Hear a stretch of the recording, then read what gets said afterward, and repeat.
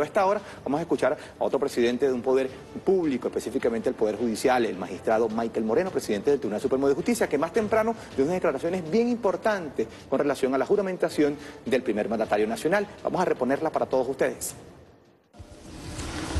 Vamos a pasar a leer la decisión de la Sala Constitucional del Tribunal Supremo de Justicia de fecha de hoy, 8 de enero del 2019.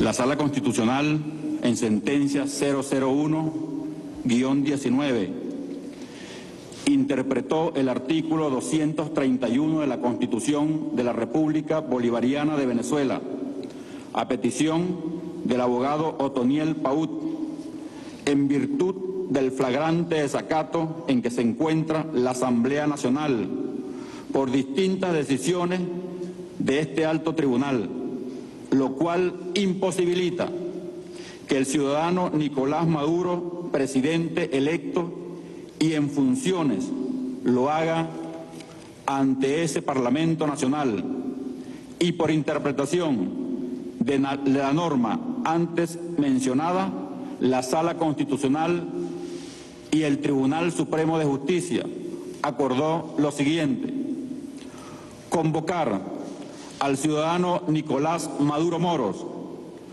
para el día 10 de enero del 2019 a las 10 de la mañana para que se presente ante el Tribunal Supremo de Justicia a los fines de ser juramentado como presidente constitucional de la República Bolivariana de Venezuela para el periodo 2019-2025.